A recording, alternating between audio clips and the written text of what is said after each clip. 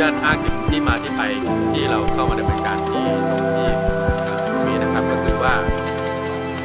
โปรเจกต์ของทางกรมน้ำบาดาลเราเนี่ยที่มาดำเนินการตรงนี้ก็คือเพื่อแก้ไขปัญหาการขาดแคลนแหล่งน้ำให้กับทางตำบลห้วยกระเจ้าอำเภอห้วยกระเจ้านะครับ เพื่อให้ได้มีน้ำกินน้ำใช้ที่สะอาดนะครับที่ผ่านมาพื้นที่ตรงนี้มี